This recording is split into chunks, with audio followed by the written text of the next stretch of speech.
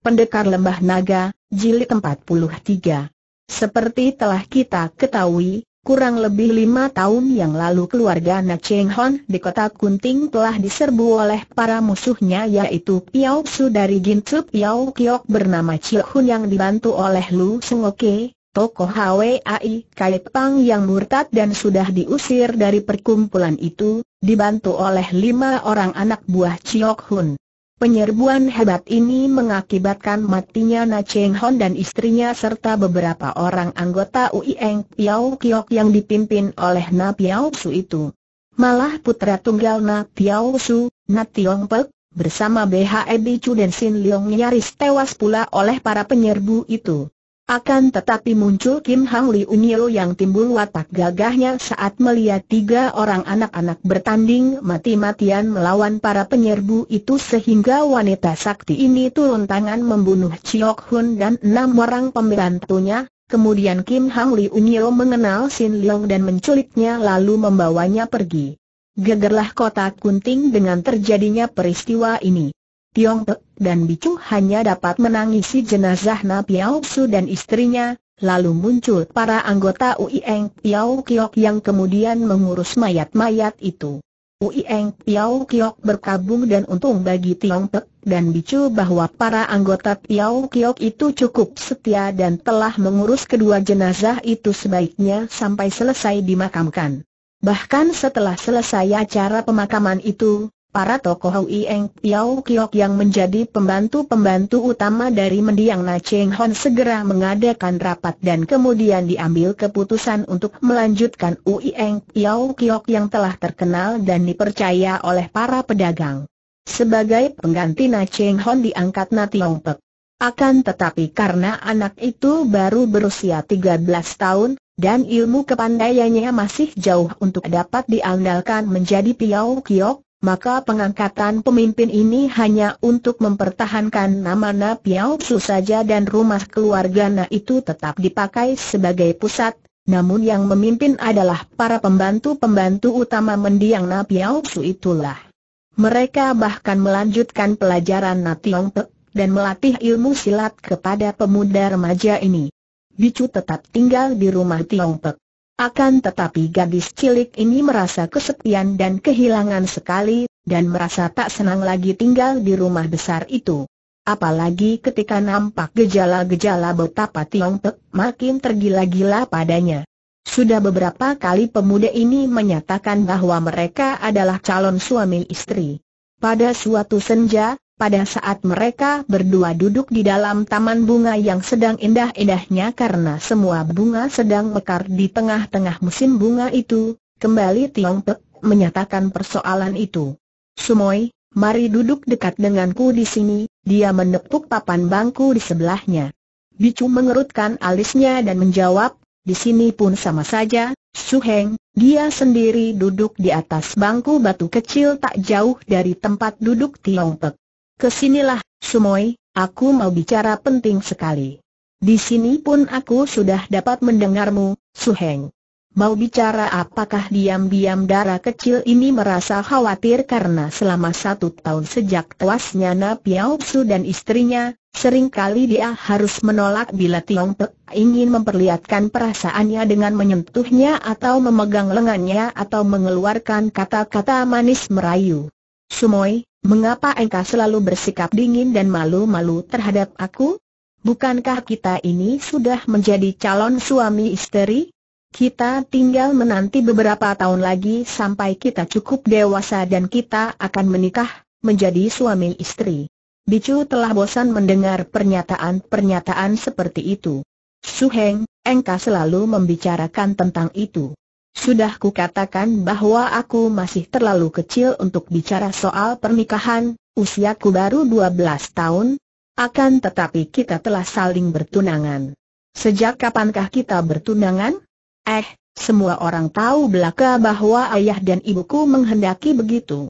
Semua paman di Eng Piao Kiok juga sudah mendengar sendiri pernyataan mendiang ayahku kepada mereka, yaitu bahwa engkau telah dipilihnya untuk menjadi jodohku. Bicu yang biasanya pendiam itu menjadi khawatir dan bingung. dia tahu bahwa dia telah berhutang budi kepada keluarganya, semenjak kecil dia sudah hidup di dalam lingkungan keluarga itu, diperlakukan dengan baik sekali, seperti anggota sendiri. Mendiang ayah dan ibu Tiong Pek sangat baik kepadanya, bahkan dia harus mengakui pula bahwa Tiong Pek sendiri selalu bersikap manis dan baik kepadanya. Agaknya, Pengangkatan dirinya sebagai calon istri Tiong Pek merupakan hal yang wajar, bahkan sudah semestinya, dan tentu akan disetujui oleh semua tokoh Hui Eng Piao Kiok dan mereka tentu menganggap bahwa nasibnya amat baik. Akan tetapi, dia sendiri tidak merasa suka. Bukan dia tidak suka kepada Tiong Pek, yang sangat baik kepadanya, akan tetapi dia sama sekali belum memikirkan soal pernikahan. Apalagi kalau dia teringat pada ayah kandungnya yang kabarnya dibunuh orang tanpa dia ketahui siapa pembunuhnya. Akan tetapi, Su Heng, hal itu belum resmi, jadi tidak semestinya kalau kau mengatakan bahwa kita telah bertunangan. Sikap dari bicu ini mengecewakan hati Tiong Pek. Pemuda ini memang semenjak masa kanak-kanak sudah merasa suka sekali kepada Bicu dan menjelang dewasa dia makin mencinta semuanya ini. Melihat sikap Bicu, dia merasa kecewa dan juga khawatir, maka pada keesokan harinya dia lalu minta bantuan paman-pamannya. Seperti para paman sekalian tentu mengetahui, mendiang ayah dan ibu telah mengambil keputusan untuk menjodohkan aku dengan Bicu, dan karena mereka berdua meninggal dunia tanpa sempat meninggalkan pesan, maka keinginan hati mereka itu bagiku adalah pesan dan wasiat terakhir. Dan mengingat bahwa kami berdua sudah semakin besar dan menjelang dewasa, maka aku minta kepada paman agar suka mengatur sembahyangan dan meresmikan pertunangan kami di depan arwah ayah ibu agar mereka dapat tenang di alam baka. Para tokoh Hui Eng Piao Kiok itu terdiri dari lima orang dan dipimpin oleh pembantu utama mendiang Na Piao Su yang bernama Lou Kiat Hui, seorang laki-laki tinggi besar yang berwatak jujur dan bermata lebar. Long Kiat Hui memang masih terhitung sute sendiri dari mendiang Na Cheng Hon, yaitu ketika mereka berdua berguru kepada seorang guru silat kenamaan di daerah selatan. Jadi orang Shiloi ini masih terhitung susuk dari Tiongpek. Mendengar kata-kata keponakannya ini, Long Kiat Hui mengangguk-angguk dengan hati girang. Memang kami semua juga sudah mengetahui akan hal itu, Tiongpek. Dan jika demikian permintaanmu, memang sebaiknya pertunangan itu cepat-cepat diresmikan dan dilakukan sembahyang besar-besaran dengan mengundang tamu-tamu sebagai saksi. Terserah kepada Long Susuk untuk mengaturnya, jawab Tiong Pek dengan girang. Long Kiat Hui adalah seorang gagah yang jujur dan berpemandangan luas. Perjodohan adalah pertalian hidup antara dua orang manusia, katanya dengan wajah serius, oleh karena itu, yang pertama kali tersangkut dan mempunyai kepentingan adalah dua orang yang akan mengikatkan diri di dalam pertalian perjodohan itulah. Oleh karena itu, sebelum kita mengambil langkah-langkah selanjutnya, sudah selayaknya bila kita mendengar dulu pendapat yang bersangkutan, yaitu Bicu. Bicu segera dipanggil dan gadis kecil itu menghadap dengan hati menduga-duga, karena dia melihat lima orang penting dari Ui Eng Piao Kiok itu memandang kepadanya dengan wajah berseri dan bibir tersenyum, sedangkan Tiong Pek sudah lebih dulu berada di situ. Ada apakah Lou Susok memanggil kutanyanya? Bicu, seperti juga Tiong Pek, kini dipimpin oleh Lou Kiat Hui dalam pelajaran ilmu silat dan dia pun menyebut Susok kepada tokoh yang kini menggantikan kedudukan mendiang Na Piao Su memimpin perusahaan itu. Duduklah, Bicu. Kita akan mengajakmu bicara tentang perjodohanmu dengan Tiong Pek, seperti telah berkali-kali dinyatakan oleh mendiang Nasuheng dan istrinya. Bicu mengerling kepada Tiong Pek, dan dia dapat menduga bahwa hal ini tentu sengaja telah diatur oleh suhengnya itu dalam usahanya untuk meresmikan pertunangan mereka. Jantungnya berdebar kencang dan mukanya menjadi merah, hatinya terasa panas dan timbul semacam perlawanan, alisnya berkerut. Apakah yang Susyok maksudkan? Aku tidak mengerti, jawabnya lirih sambil menunduk. Kelima orang pimpinan Ui Eng Piao Kio itu tersenyum dan saling pandang. menggelikan dan juga mengharukan melihat seorang darah remaja menundukkan muka kemalu-maluan kalau diajak bicara tentang perjodohan. Begini, Bicu. Semenjak engkau dan Tiong Pek masih kecil, mendiang Nasu Heng serta istrinya sudah sering kali menyatakan bahwa kalian berdua akan saling dijodohkan, akan tetapi sayang, sebelum niat itu dilaksanakan, mereka sudah lebih dulu meninggalkan kita. Sekarang, karena kalian berdua sudah menjelang dewasa, kami merasa sudah menjadi kewajiban kami untuk melaksanakan cita-cita mereka berdua itu, dan agar arwah mereka tenang di alam baka, maka kami bermaksud hendak mengadakan sembahyangan untuk meresmikan pertunanganmu dengan Tiong Pek, dengan disaksikan oleh sahabat-sahabat dan para undangan. Maka sebelum itu, kami sengaja memanggilmu untuk memberitahu dan mendengar bagaimana pendapatmu tentang maksud kami itu, Bicu. Gadis kecil itu masih menundukkan mukanya dan semua orang memandang kepadanya, menyangka bahwa seperti kebiasaan para gadis pada umumnya yang ditanya tentang pernikahan, dia tentu akan menjawab terserah kepada Susyok, atau hanya mengangguk tanpa kata, atau juga lari memasuki kamarnya. Semua itu akan menjadi tanda bahwa Bicu sudah setuju. Akan tetapi, terkejut dan heranlah semua orang di situ pada saat mereka melihat Bicu menggeleng kepalanya, mengangkat mukanya yang merah dan menjawab dengan suara gemetar, tidak, Susyok, aku masih terlampau kecil untuk bicara tentang perjodohan. Aku belum memikirkan perjodohan dan tidak mau bicara tentang itu, dia lalu menundukkan mukanya kembali. Long Kiat Hui saling pandang dengan teman-temannya, lantas mengerling kepada Tiong Pek, yang hanya duduk diam sambil menundukkan mukanya pula. Kemudian orang tinggi besar ini memandang kepada bicu yang menunduk itu dan berkata, suaranya lantang dan mendesak. Bicu, mengapa engkau menolak?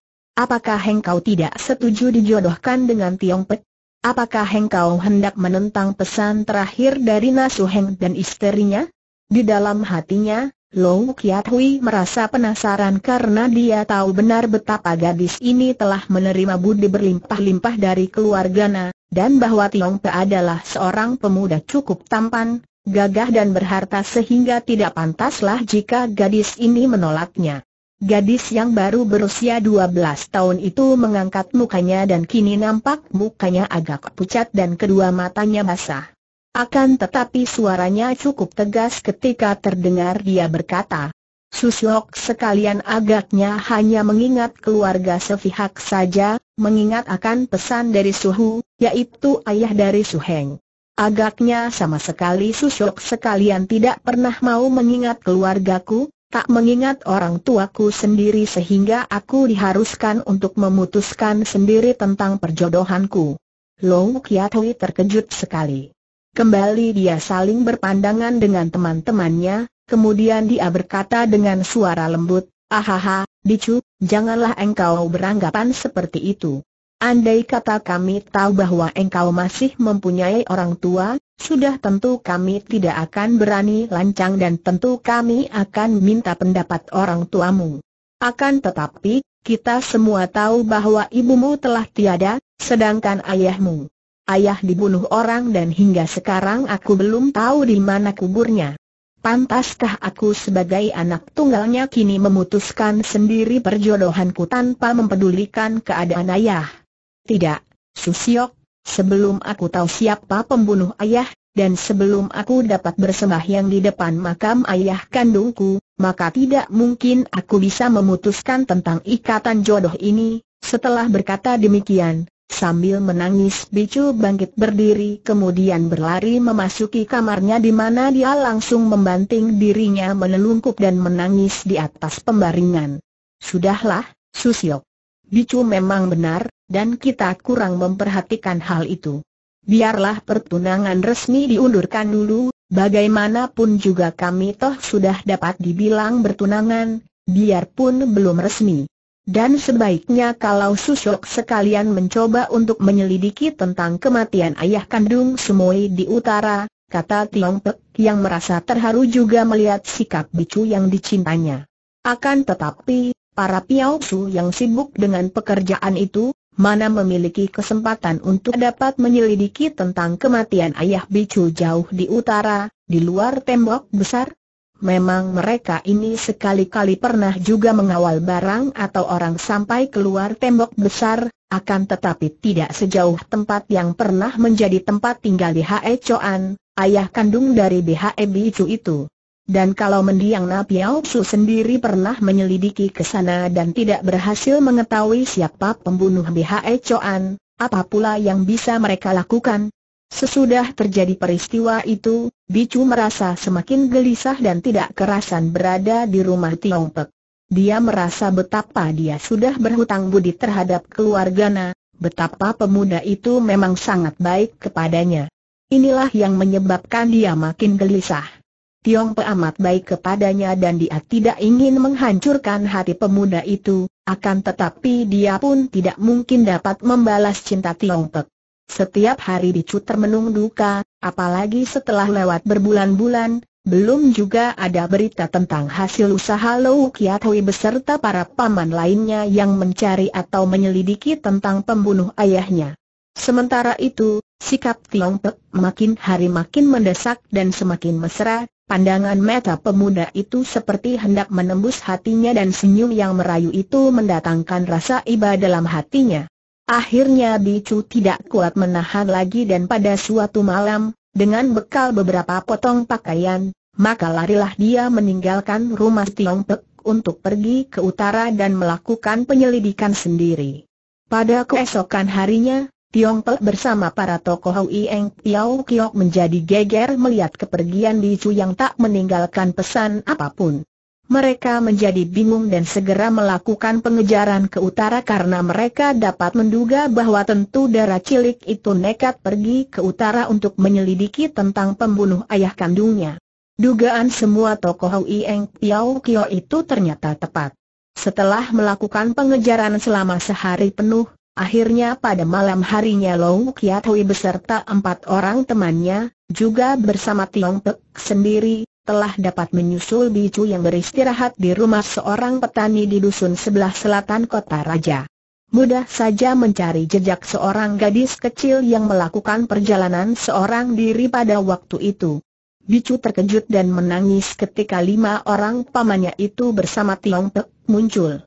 Marilah kita pulang ke Kunting, Bicu, Long Kiat Hui berkata dengan sikap halus tanpa banyak kata-kata teguran. Tidak, aku tidak mau bicu menangis. Aku hendak pergi mencari pembunuh ayah. Tinggalkan aku sendiri. Tiong Pek menghampiri bicu kemudian memegangi tangannya. Sumoy, kenapa engkau hendak meninggalkan aku? Apakah kesalahanku kepadamu? Tidak, Su Heng, engkau tak bersalah, kalian semua tidak bersalah. Akulah yang bersalah, akan tetapi, biarkan aku pergi, biarkan aku mencari sendiri pembunuh ayahku, jangan memaksa aku kembali ke Kunting. Long Kiat Hui memandang gadis yang menangis terisak-isak itu. Bicu, engkau harus ikut kami kembali ke Kunting dan marilah di sana kita bicara. Mendengar ucapan Long Kiat Hui agak mendesak karena orang tinggi besar ini memang sudah tidak sabar lagi melihat Bicu menangis dan memang diam-diam dia pun merasa amat penasaran dan marah melihat gadis kecil itu nekat melarikan diri tanpa pamit, Bicu mengangkat mukanya memandang. Lo Susiok, mengapa Susiok hendak memaksa aku kembali ke sana? Aku tidak mau kembali. Apakah Susiok demikian jahat? Long Kiat Hui memandang tajam kepada murid keponakan itu. Bicu sekarang suaranya terdengar tegas dan menunjukkan kemarahan, omongan apa yang kau keluarkan ini? Kalau kami membiarkan engkau pergi, melakukan perjalanan berbahaya seorang diri sehingga akhirnya engkau mendapat celaka, maka barulah kami benar-benar jahat. Sebaliknya, kalau engkau memaksa hendak pergi minggat begitu saja meninggalkan rumah di mana engkau dibesarkan dan dirawat penuh kasih sayang, maka engkau adalah seorang anak yang tak mengenal budi dan jahat. Bicu adalah seorang anak yang wataknya pendiam dan keras. Mendengar ucapan itu dia lalu membantah, dan kalau aku akan dipaksa menikah hanya untuk membalas budi, apa itu namanya, paman? Sejenak Lau Kiat Hui terperanjat, akan tetapi dia lalu berkata, Kembali suaranya halus, sudahlah. Mari kita semua pulang dulu ke Kunting dan segala sesuatu bisa dibicarakan dengan tenang di sana. Long Kiat Hui lalu mengeluarkan uang dan membayar secukupnya kepada pemilik rumah dusun itu yang telah mau menampung Bicu, kemudian dengan memaksa dia mengajak Bicu untuk kembali ke Kunting malam itu juga. Tindakan Lou Kiat Hui ini dilakukan dengan penuh kesadaran bahwa dia telah melakukan hal yang benar. Dia harus melindungi keselamatan Bicu, kalau perlu dengan paksaan. Dia tahu bahwa kalau dia membiarkan Bicu melanjutkan perjalanan seorang diri, sudah pasti gadis kecil ini akan mengalami malapetaka di tengah jalan. Ilmu silat yang dikuasai gadis itu masih terlampau rendah untuk dapat dipakai menjaga diri. Karena lelah, maka akhirnya di tengah perjalanan mereka bermalam di sebuah kuil. Kuil itu adalah kuil milik seorang Tosu yang merawat kuil bersama beberapa orang muridnya. Dengan ramah Tosu-Tosu itu menerima kedatangan Lou Kiatwi yang terkenal sebagai seorang Piao Su yang budiman, dan mereka semua mendapatkan kamar. Untuk mencegah gadis itu nekat melarikan diri lagi, maka Long Kiat Hui sendiri bersama empat orang pembantunya menjaga di luar, tidur bergiliran, sedangkan Tiong Pek yang kelelahan sudah lebih dulu tidur di atas sebuah pembaringan di kamar sebelah. Malam itu sunyi sekali. Semua penghuni dusun di mana kuil itu berdiri sudah tidur karena waktu itu menjelang tengah malam. Para Tosu dan sebagian dari para Piao Su juga sudah tidur nyenyak. Hanya Lou Kiat Hui sendiri bersama seorang Piao Sulayan yang bergilir melakukan penjagaan masih duduk di depan kamar Bicu. Di sebelah dalam kamar itu, Bicu sendiri juga tidak dapat tidur, masih menangis perlahan karena merasa tidak berdaya. Dia diharuskan kembali lagi ke rumah itu. Tiba-tiba kesunyian malam itu terganggu oleh suara batuk-batuk kecil, kemudian disusul menyambarnya sebuah batu kecil yang dengan tepat mengenai lampu yang tergantung di luar kamar bicu. Tentu saja tempat itu seketika menjadi gelap dan Lou Kiat Hui cepat meloncat berdiri, diikuti oleh Piao lainnya. Siapa di situ bentak Lou Kiat Hui yang sudah mencabut pedangnya, lalu dia meloncat ke arah suara batuk tadi. Akan tetapi pada saat itu dia merasa ada angin menyambar dan ada orang berkelebat di dekatnya. Nampak bayangan remang-remang karena cuaca yang gelap dan yang hanya mendapat penerangan dari lampu yang tergantung agak jauh dari situ. Akan tetapi dapat dibayangkan alangkah kaget hati orang Shiloh ini ketika melihat betapa bayangan itu telah mendorong daun pintu dan memasuki kamar bicu. Hei, tahan dia meloncat ke kamar, akan tetapi cepat menghindar ketika dari dalam kamar itu meloncat bayangan tadi, kini sudah mengempit tubuh bicu. Lepaskan dia bentak Piao Su yang lain sambil menubruk dengan goloknya. Plak! Teranggak Piao Su itu roboh dan goloknya terlempar. Berhenti. Siapa engkau berani menculik orang teriak Lou Kiat Hui sambil mengejar. Bayangan itu membalik dan Long Hui yang tidak dapat melihat jelas muka orang itu karena cuaca yang terlampau gelap, sudah mendorong dengan tangan kirinya. Dia tidak berani lancang mempergunakan pedangnya. Akan tetapi bayangan itu tidak mengelak, melainkan menangkis dorongan itu dengan satu gerakan sembarangan. Plak! Ah Lou Hui terhuyung dan merasa betapa tangkisan itu membuat lengan kirinya seperti lumpuh rasanya. Maklumlah dia bahwa dia menghadapi lawan tangguh, maka dia sudah menubruk lagi dengan pedangnya, membabatkan pedang ke arah kedua kaki lawan, dilanjutkan dengan tusukan ke arah lambung. Akan tetapi dengan lincah dan mudahnya bayangan itu mengelak terus hingga lima jurus. Kemudian dia membentak dan sebatang tongkat menangkis pedang itu sedemikian kuat hingga pedang terlepas dari tangan Kiatui dan sebelum Piao Su ini mampu mengelak, dia sudah roboh tertotok. Para piau lainnya terbangun akibat suara gaduh. Akan tetapi selagi mereka hendak mengeroyok, bayangan itu sudah meloncat ke atas dan lenyap di telan kegelapan malam sambil membawa pergi tubuh bicu. Gegerlah para piau su. Setelah Lou Kiat Hui dibebaskan totokannya, dia bersama para piau lainnya mengejar dan mencari-cari, tapi mereka tidak berhasil menemukan jejak bayangan tadi. Mereka menanyakan kepada para Tosu, namun para tosu yang lemah itu pun tidak dapat memberi keterangan. Long Kiat dengan teman-temannya lalu mencari terus, sampai beberapa hari mereka mencari di sekitar tempat itu, akan tetapi jangankan menemukan jejak orang itu, bahkan keterangan tentang orang itu pun tak bisa mereka dapatkan. Mereka tidak tahu siapakah bayangan yang sedemikian lihainya, bayangan yang mempergunakan tongkat. Long Kiat Hui menghibur Tiong Pek yang merasa berduka dan khawatir sekali. Mereka terpaksa lalu kembali ke Kunting dengan tangan kosong dan meskipun para Piao Su itu masih selalu mencari-cari, namun mereka tidak pernah berhasil dan Bicu tetap lenyap tanpa meninggalkan jejak. Siapakah yang menculik Bicu? Mari kita ikuti pengalaman darah cilik ini semenjak malam dia lenyap dari kuil itu. Pada saat itu, Bicu masih menangis perlahan ketika tiba-tiba dia mendengar suara gaduh lantas pintu kamarnya jebol. Dia hanya melihat bayangan orang menyerbu masuk dan sebelum dia tahu apa yang sudah terjadi, bayangan orang itu telah meloncat ke depan pembaringannya dan berkata, Mari kau ikut bersamaku melarikan diri dari mereka, anak yang baik. Bayangan itu lalu menyambar tubuhnya dan Bicu tak mampu bergerak lagi. Dia merasa bingung harus berbuat apa, menyerah atau melawan. Apabila menyerah, dia belum tahu siapa adanya orang ini, kalau melawan, dia merasa tertarik oleh kata-kata yang sifatnya hendak menolongnya membebaskan diri dari Tiong Pek dan para Piao Su itu. Lebih lagi ketika orang yang membawanya itu kemudian bertanding, dia merasa makin bingung dan khawatir. Namun ketika dia dibawa pergi dengan berloncatan demikian cepatnya ke atas genteng, maka taulah bicu bahwa pembawanya adalah seorang yang berilmu tinggi.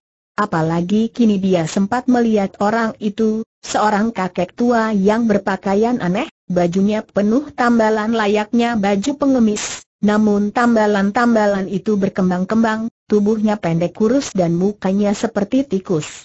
Sesudah terbebas dari pengejaran para Piao Su, kakek itu menurunkan tubuh bicu dan memegang tangannya, menggandengnya dan mengajaknya berjalan kaki menuju ke kota raja. Nah, engkau kini sudah terbebas dari mereka, anak baik. Aku melihatmu di bawah mereka dan engkau menangis di sepanjang jalan, maka aku segera tahu bahwa engkau tak suka mereka bawa dan ingin bebas. Siapakah namamu dan mengapa engkau mereka paksa untuk ikut dengan mereka? Mendengar keterangan kakek ini, Bicu lalu menceritakan keadaan dirinya. Aku hendak mencari pembunuh ayah kandungku, akan tetapi mereka melarangku, oleh karena itu aku berduka dan menangis, kek, dia menutup penuturannya. Kakek itu tersenyum. Hahaha, engkau sungguh keras hati dan berbakti. Akan tetapi engkau hanya seorang anak perempuan yang lemah, mana mungkin sendirian saja pergi ke tempat begitu jauh, di luar tembok besar mencari seorang musuh pembunuh ayahmu. Bagaimana kalau engkau belajar ilmu silat dahulu dariku, kemudian setelah pandai baru engkau pergi mencari musuhmu? Bicu tadi sudah menyaksikan kelihayan kakek ini, maka dia menjadi girang dan segera menjatuhkan diri berlutut. Terima kasih atas perhatian suhu terhadap diri Teocu katanya. Kakek itu tertawa girang dan segera mengangkatnya bangun. Ketahuilah, bahwa gurumu ini dinamakan orang HWAI Sin Kai dan aku pemimpin seluruh pengemis HWAI Kai Pang untuk daerah kota raja dan sekelilingnya. Engkau boleh menjadi muridku, akan tetapi HWAI Kai Pang memiliki suatu peraturan yang melarang menerima anggota wanita. Oleh karena itu, biarpun engkau ini muridku, namun engkau tidak boleh menjadi anggota perkumpulan HWAI Kaipang. Mengertikah engkau, Bicu? Teocu mengerti, dan pula, Teocu memang tidak ingin menjadi pengemis. HWAI Sin Kai tertawa lagi. Dan mulai saat ini juga engkau tidak boleh memperkenalkan namamu, karena para Piao Su dari Uieng Piao Kio itu tentu akan mencarimu. Maka kalau sampai ada orang yang mengenal namamu, tentu akan mudah bagi mereka untuk menemukanmu dan aku merasa tidak enak kalau harus bentrok dengan mereka. Mereka terkenal sebagai Piao Su Piao Su yang baik. Tadi pun untuk menolongmu, Aku terpaksa harus menggunakan kecepatan agar tidak sampai dikenal oleh mereka. Kalau tidak memakai nama Teocu, habis lalu memakai nama apa, Su? Sudah kuperhatikan dirimu. Matamu amat tajam dan indah, merupakan ciri khas bagimu, maka sepatutnya kalau engkau memakai julukan Kim Gan, si Metu Mas, dan mengingat engkau seorang anak perempuan kecil hidup sendirian di dunia ini dan sesudah menjadi muridku engkau kelak tentunya akan memiliki kegesitan, maka biarlah engkau tambahkan julukan Yancu, burung walet.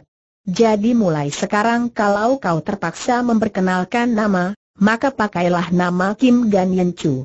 Mulai saat itu, Bicu menjadi murid Hwai Sin Kai, diajak pergi ke dalam hutan di sebelah utara kota raja, tinggal di dalam kuil tua dan di situ dia digembleng ilmu oleh kakek yang lihai itu. Dan mulai saat itu pula dia dikenal di antara para anggota HWAI Kait Pang sebagai Kim Gan Yen Chu, murid dari ketua mereka. Biarpun Chu tidak menjadi anggota HWAI Kait Pang, akan tetapi dia dikenal oleh semua anggota dan disuka oleh para anggota muda, apalagi karena dia dikagumi sebagai murid Seng Ketua dan memang Bicu amat berbakat sehingga ilmu silatnya maju secara pesat. Dan karena pergaulan inilah maka sedikit demi sedikit sifat pendiam Bicu mulai berubah, menjadi lincah, gembira dan juga cekatan dan cerdas sekali. Demikianlah riwayat Bicu seperti yang diceritakannya kepada Sin Leong dan didengarkan dengan penuh perhatian oleh pemuda remaja itu. Menurut ceritamu tadi, engkau tidak boleh menjadi anggota perkumpulan pengemis itu, akan tetapi mengapa engkau kini malah menjadi pemimpin para pengemis muda di pasar itu? Bicu Sin Leong menegur setelah darah itu selesai bercerita. Karena terpaksa. Hal ini terjadi setelah HWAI Kaipang bubar. Eh, bubar? Mengapa? Karena dituduh pemberontak oleh pemerintah dan semenjak suhu tewas. Suhumu, kakek Pangcu yang lihai itu tewas? Siapa yang membunuhnya? Dikeroyok oleh pasukan pemerintah. Saat itu Suhu sedang menghadiri pesta pernikahan keluarga pendekar Saktiat Kun Leong, dan entah mengapa aku sendiri tidak tahu. Pesta itu diserbu oleh pasukan tentara, dan Suhu tewas dalam serbuan itu oleh pengeroyokan pasukan, sedang para pendekar Yap Kun Liong dan Chia Bun Ho bersama istri mereka kabarnya ditangkap pasukan. Ah tentu saja Sin Leong terkejut bukan main mendengar berita penangkapan atas diri ayah kandungnya itu. Akan tetapi menurut kabar, mereka berempat itu berhasil meloloskan diri lagi dan kini menjadi buronan pemerintah pemerintah memang sangat sewenang-wenang, masa suhu dan para pendekar sakti itu dianggap pemberontak. Terpaksa HWAI Kait Pang bubar dan karena tidak puas dengan kelaliman pemerintah, maka aku lalu memimpin para pengemis muda itu yang sebagian besar merupakan keturunan para anggota HWAI Kait Pang, untuk sekedar mengacau pemerintah. Dan itu pula sebabnya maka ketika pasukan mengejarmu dan menuduhmu sebagai pemberontak buronan, kami menolongmu mati-matian. Sin Leong menarik napas panjang. Ternyata darah remaja ini pun mengalami hal-hal yang sangat pahit. Akan tetapi dia mengusir semua itu dari kenangannya dan dia tersenyum memandang wajah yang manis itu. Air, kiranya engkau sekarang telah menjadi seorang pendekar wanita yang memiliki ilmu kepandaian tinggi. Tidak berani aku menganggap diri begitu, Sin Leong. Memang benar aku telah menerima latihan-latihan ilmu silat tinggi dari mendiang suhu sehingga kalau dibandingkan dengan dulu pada waktu kita masih sama-sama belajar kepada Napiao Su, tentu saja aku telah mendapatkan kemajuan yang sangat pesat. Akan tetapi sesudah berkecimpung di dunia Kang Ou, aku tahu benar bahwa kepandaianku masih belum masuk hitungan. Aku harus mematangkan kepandaianku lebih dahulu, barulah aku akan berangkat ke utara mencari pembunuh ayah. Aku akan membantumu, Bicu. Kita akan mencari keterangan dari ayah tiriku, kemudian aku akan menemanimu mencari ke utara. Ingat, aku datang dari lembah naga sehingga aku mengenal daerah di utara. Bicu tersenyum. Dan aku pun tadi telah berjanji untuk membantumu menghadapi musuh besarmu. Sin Leong mengangguk. Memang sebaiknya kalau kita saling bantu. bersama-sama kita mencari pembunuh ayahmu dan pembunuh ibuku, kita berdua adalah orang-orang yatim piatu, maka memang sudah selayaknya saling bantu. Engkau baik sekali, Sin Leong. Aku girang dapat bertemu denganmu. Dan aku pun juga girang sekali. Mari kita percepat jalan kita, itu dusun di mana tinggal keluarga Kui sudah nampak. Hari sudah hampir gelap. Mereka kemudian mempercepat jalan mereka, setengah berlari-larian menuju ke dusun di depan dan waktu itu sudah hampir senja. Akhirnya mereka berjalan memasuki dusun itu dan mereka berdiri di luar pekarangan sebuah rumah yang cukup besar. Sampai di sini, Bicu termangu-mangu. Sin Leong, kau masuklah saja dulu, bisiknya. Aku merasa malu, karena kalau kuingat betapa aku telah mencopet barang-barang mereka. Ahaha, mereka tidak akan tahu. Kau masuklah dahulu, kalau engkau lihat tidak ada halangan bagiku untuk masuk, baru engkau panggil aku. Kau boleh beritahukan dulu kepada mereka tentang kehadiranku. Akhirnya Sin Leong menyetujui juga karena memang dia sendiri baru saja akan bertemu dengan keluarga Kui, maka tidak enaklah jika datang-datang dia membawa teman. Lebih baik dia melihat gelagat lebih dulu, kalau sekiranya keluarga itu tidak keberatan menerima bicu, baru dia akan memanggil darah itu. Andai kata mereka berkeberatan menerima bicu, dia sendiri pun tidak akan mau tinggal di situ. Baik, kau tunggu di sini sebentar, katanya dan dia lalu melangkah masuk. Pekarangan rumah itu sunyi saja, bahkan pada serambi depan juga kelihatan sunyi tidak terlihat adanya seorang pun. Karena merasa bahwa dia adalah seorang anggota keluarga ini, maka Sin Leong ingin mengejutkan mereka dengan kemunculan yang tiba-tiba melalui pintu belakang. Dia lantas mengambil jalan memutar, melewati samping rumah di mana terdapat sebuah kebun yang cukup luas. Selagi dia jalan berindap-indap dengan jantung berdebar tegang penuh kegembiraan dan membayangkan betapa keluarga itu akan kaget sekali melihat kemunculan yang tiba-tiba dan betapa akan gembiranya pertemuan antara dia dengan keluarga itu, terutama dengan adik-adiknya, Lan Lan dan Lin Lin, tiba-tiba saja terdengar bentakan-bentakan halus dan nyaring lantas dari ujung tikungan dinding rumah itu berloncatan keluar dua orang gadis remaja yang cantik-cantik dan lincah, yang bukan lain adalah Lan Lan dan Lin Lin dua orang darah remaja kembar ini masing-masing memegang sebatang pedang dan tanpa banyak cakap lagi mereka sudah menyerang Sin Leong dengan ganasnya. Diserang secara mendadak itu Sin Leong tidak menjadi gugup, dan dengan beberapa kali melangkah ke belakang saja dia sudah dapat menghindarkan serangan-serangan pedang itu. Eh haha, oh, nanti dulu serunya. Maling hina, engkau sudah bosan hidup bentak salah seorang di antara sepasang darah kembar itu dan dengan loncatan cepat dia sudah menyerbu dan menusukkan pedangnya ke arah dada Sin Leong. Dia tentu kawan-kawan para pencopet itu, pencilan. Hajar saja bentak darah kedua lalu dia pun menerjang ke depan dan mengayun pedangnya menyerang ke arah kedua kaki Sin Leong. Eit, tahan dulu Sin Leong membuat gerakan kaku menarik tubuh atas ke belakang dengan menekuk lututnya sehingga tusukan pedang lan-lan tadi luput dan ujung pedang itu berhenti di depan hidungnya, sedangkan ketika pedang Lin Lin menyambar lutut, dia cepat meloncat ke belakang menghindarkan diri. Sungguh pun gerakannya kaku karena memang Sin Leong tidak ingin memamerkan kepandaian, akan tetapi tentu saja gerakan ini dengan mudah dapat membebaskan dia dari serangan yang tiba-tiba itu.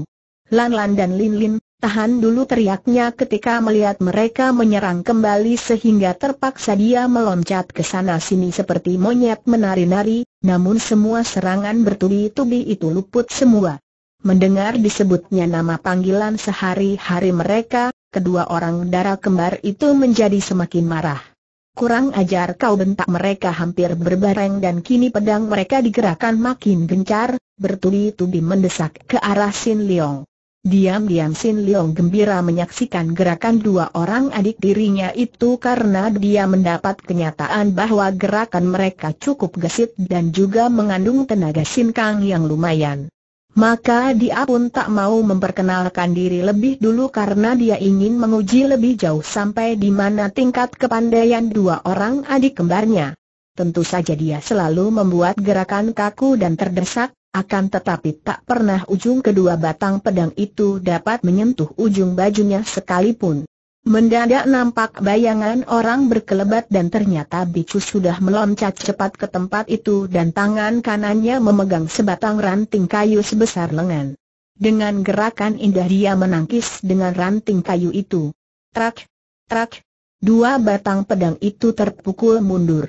Ternyata tangkisan ranting kayu yang digetarkan hebat itu membuat kedua orang darah kembar ini terkejut karena mereka merasa betapa pedang mereka tergetar dan tangan mereka nyeri. Jangan takut, Sin Leong, biar aku menghadapi mereka bentak bicu. Dua orang darah kembar itu terkejut dan heran. Mereka terbelalak memandang kepada Sin Leong dan dengan berbareng bibir mereka bergerak, Sin Leong, Lan Moy dan Lin Moy, apakah kalian tidak mengenal kakakmu sendiri? Aku adalah Sin Leong, kata Sin Leong dengan suara gemetar karena terharu. Dua orang gadis itu terbelalak, lantas melemparkan pedang dan mereka langsung berlari menghampiri pemuda itu. Leong Koko. Lan Lan dan Lin Lin merangkul dengan wajah berseri gembira. Sin Leong teringat ibunya. Dia merangkul dua orang darah kembar itu dengan penuh kasih sayang. Lan Moy dan Lin Moy, kalian sudah menjadi dua orang darah yang amat manis dan cantik jelita, juga kepandaianmu hebat, hampir saja aku kalian jadikan bakso. Akan tetapi dua orang darah remaja kembar itu tiba-tiba menoleh dan memandang kepada bicu yang masih berdiri bengong sambil tetap memegang ranting kayu pada tangannya yang tadi digunakannya untuk melindungi Sin Leong. Dia memang mempunyai kepandaian istimewa dalam memainkan senjata tongkat, yaitu ilmu tongkat Ingkolian Pang Hoat, ilmu tongkat lima teratai, yang dipelajarinya dari mendiang Hwai Sin Kai. Liong Ke, siapakah dia tanya Lan Lan. Sin Leong baru teringat kepada Bicu, maka cepat-cepat dia memperkenalkan. Bicu, inilah adik-adikku itu, Kuilan dan Kuilin Lan Moy dan Lin Moy, ini adalah BHE Bicu, yang pernah menjadi sumoiku. Ah dua orang darah kembar itu berseru girang dan mereka segera tersenyum ramah kepada Bicu. Lenyaplah kemarahan Bicu tadi ketika melihat dua orang darah kembar itu tersenyum demikian manisnya. Liongke, engkau mengagetkan orang saja Lan-Lan menegur, mengapa tidak langsung masuk dari pintu depan? Sin Leong tersenyum. Aku memang ingin membuat kalian terkejut. Bagaimana keadaan kalian sekeluarga? Ayah pasti akan girang sekali mendengar kedatanganmu. Mari, Liongke, ayah berada di dalam. Mari kita temui dia. Enci Bicu, mari ikut kata Lin Lin yang mendahului mereka lari melalui pintu samping ke dalam rumah sambil berteriak-teriak. Ayah! Liong Koko telah pulang. Sin Leong hanya tersenyum penuh keharuan pada saat dia menggandeng tangan Lan Lan mengikuti Lin Lin, adapun Bicu mengikuti pula dari belakang. Dia ikut gembira melihat penyambutan dua orang darah kembar itu terhadap kedatangan kakaknya dan diam-diam dia merasa iri hati terhadap Sin Leong. Biarpun seperti juga dia, Sin Leong sudah yatim piatu, akan tetapi setidaknya Sin Leong mempunyai adik-adik tiri semanis dua orang darah kembar itu. Sedangkan dia, dia tidak mempunyai siapa-siapa. Kui Ho Boan tercengang ketika mendengar bahwa Sin Leong muncul secara tiba-tiba di rumahnya. Diam-diam dia merasa tidak senang dan menganggap kedatangan ini sebagai gangguan. Selama beberapa tahun ini, sejak mereka pindah dari Lembah Naga, dia hidup tenteram sebagai seorang hartawan dan cuan tanah yang disegani di dusun itu. Seperti yang telah diceritakan di bagian depan, semenjak kematian istrinya, yaitu Liong Sikawei ibu kandung Sin Liong, Kui Hok Boan yang tampan dan selalu berpakaian seperti sastrawan ini segera meninggalkan lembah naga karena memang hal ini diharuskan oleh Raja Sabutai. Ketika meninggalkan lembah naga, Kui Hok Boan membawa harta bendanya, yaitu harta pusaka yang diperolehnya di istana lembah naga, maka dia dapat hidup sebagai seorang hartawan besar di dusun dekat kota raja itu dan memiliki sawah yang luas sekali. Dia hidup dengan tenteram, mendidik dua orang puterinya dan dua orang keponakannya, yaitu Kuan Siong Bu dan Tei Beng Sin. Selama ini dia mengambil beberapa orang selir, akan tetapi tidak pernah menikah kembali, dan di antara selir-selirnya tidak ada seorang pun yang memiliki anak. Dia tidak pernah lagi ingat kepada Sin Leong yang dianggapnya dan diharapkannya telah meninggal dunia. Maka, tentu saja dia amat tercengang ketika mendengar suara Lin Lin yang meneriakan kedatangan Sin Leong. Betapapun juga, Kui Hok Boan adalah seorang yang cerdik. Dia dapat menekan perasaan tidak senangnya dan dengan muka berseri dan senyum lebar dia keluar menyambut kedatangan anak tirinya itu. Alisnya terangkat ketika dia melihat Bicu ikut masuk bersama dua orang puterinya dan Sin Leong. Akan tetapi sepasang matanya membuat Bicu diam-diam mencatat bahwa tuan rumah ini tergolong seorang laki-laki yang matanya berkilat dan berminyak apabila memandang wanita. Sebagai seorang darah remaja yang sudah biasa bergaul dan setiap hari berada di pasar, tentu saja Bicu dapat mengenal pandang mata para laki-laki yang memandang dirinya. Sejenak Wei Boan dan Sin Leong saling pandang dan dalam waktu singkat itu masing-masing sudah menilai. Bagi Sin Leong, ayah tirinya itu nampak lebih kurus dari biasanya, dan kini telah berkumis dan berjenggot pendek.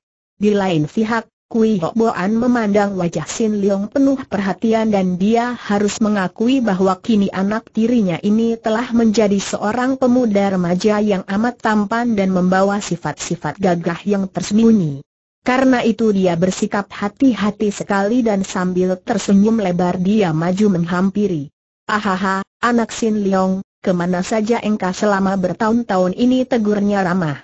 Saya merantau sampai jauh, Paman, Hingga akhirnya saya tinggal di kota raja, bekerja sebagai pelayan rumah makan, jawab Sin Leong yang sampai sekarang tetap tidak mau menyebut ayah kepada ayah tirinya itu, melainkan menyebut paman. Hok Boan agaknya juga tidak peduli akan hal ini dan dia mendengarkan penuturan Sin Leong dengan penuh perhatian. Ahaha, bagus sekali kalau begitu. Dan sekarang engkau datang ke sini, apakah hanya ingin berkunjung ataukah ada keperluan yang lain? Dan siapakah nona ini? Dia memandang kepada bicu dan kembali darah ini melihat sinar mata laki-laki ini berkilat, membuat dia makin tidak senang dan segera menundukkan mukanya. Saya datang hendak meminta pertolongan dan perlindungan dari Paman Kui, Sin Leong berkata, saya dituduh pemberontak dan dikejar-kejar oleh pasukan pemerintah. Berubah wajah Hok Boan mendengar ini, dan jelas bahwa dia nampak terkejut sekali dan juga terheran-heran. Duduklah kalian berdua, dan ceritakanlah semuanya kepadaku, Sin Leong. Sin Leong dan Bicu duduk saling berhadapan dengan orang Shikwi itu, sedangkan Lan Lan dan Lin Lin duduk di samping ikut mendengarkan dengan penuh perhatian.